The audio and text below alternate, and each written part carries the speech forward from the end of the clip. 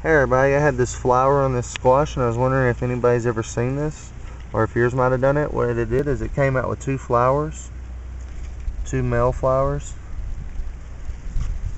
I got a couple of them like it. Uh, they're, they're normal looking and everything, just came out with two of them on one stalk. Isn't that weird? Let's go over here and look at another one.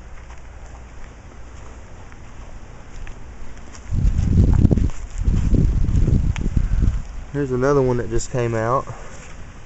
And it got two, two on it.